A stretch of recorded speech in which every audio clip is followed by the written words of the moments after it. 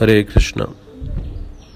श्रीमद् भगवद गीता यथारूप, अध्याय दो। या निशा सर्वभूतानां, तस्यां जागृति संयमी, यस्यां जागृति भूतानि या निशा पश्यतो मुने। जो सब जीवों के लिए रात्रि है, वह आत्म संयमी के जागने का समय है। और जो समस्त जीवों के जागने का समय है, वह आत्मनिरीक्षक मुनि के लिए रात्रि है। चाणक्य पंडित ने अपने नीति शास्त्रों में कहा, अगर आप भौतिक जीवन में सफलता पाना चाहते हैं तो ये कल्पना करें कि आप हमेशा जिएँगे। तो अभिप्राय है कि बिना इस कल्पना के कि हम हमेशा जिएँगे, आप इस संसार में सफलता हासिल करने के लिए प्रयत्न कर ही नहीं पाएँगे।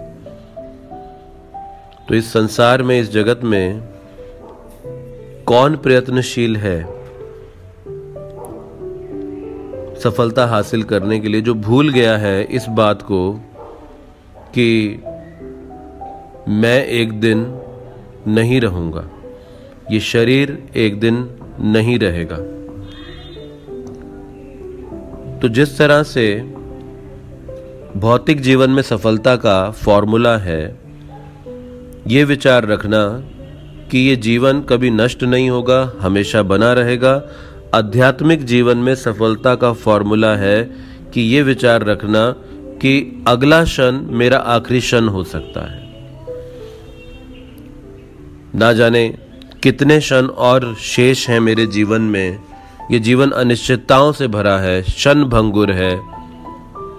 जैसे एक पुष्प पे या पुष्प के की पंखुड़ी पे एक जल की बूंद पड़े तो वो जल की बूंद की आयु उस पुष्प की पंखुड़ी पे कितनी देर रहेगी, जब तक हवा का अगला झोंका ना आए तब तक?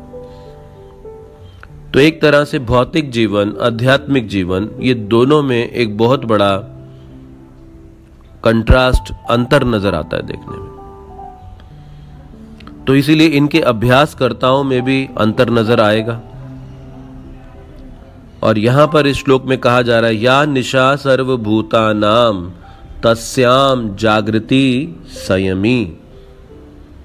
जो सभी जीवों के लिए सर्वभूता नाम सभी जीवों के लिए निशा रात्रि है तस्याम जागृति संयमी। वो आत्मसंयमी के जागने का समय है।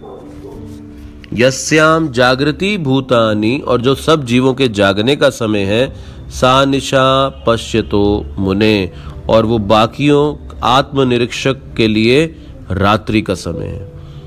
तो दोनों का जीवन में ज़मीन और आसमान का अंतर है। दोनों के कार्यों में जीवन में ज़मीन, आसमान अंतर है। दोनों के जीवन के लक्ष्यों में अंतर है।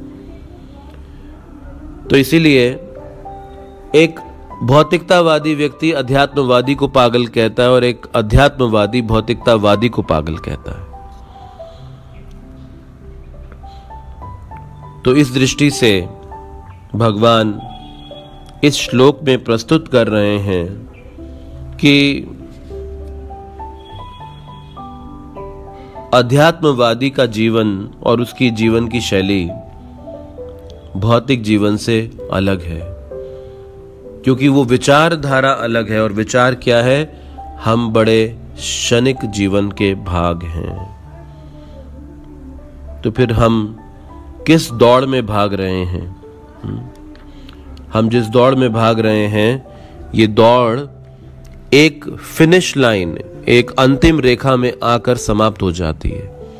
और उसके आगे ये जीवन की यात्रा नहीं जा पाती है।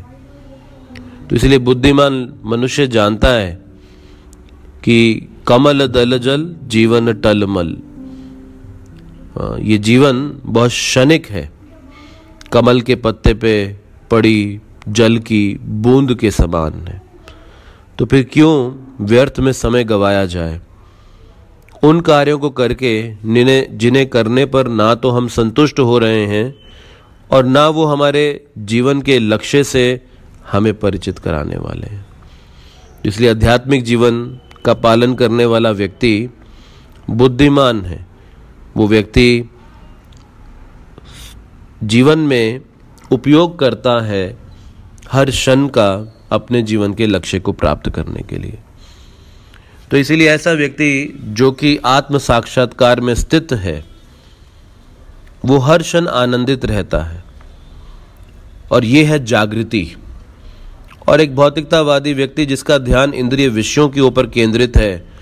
इंद्रिय विषयों को ना प्राप्त करने के बाद और प्राप्त करने के बाद भी वो सुख और दुख के सागर में ही गोते खाता जाता है। तो इस तरह से ये विश्लेषण, ये तुलना इस श्लोक में प्रस्तुत की जा रही है। हरे कृष्ण।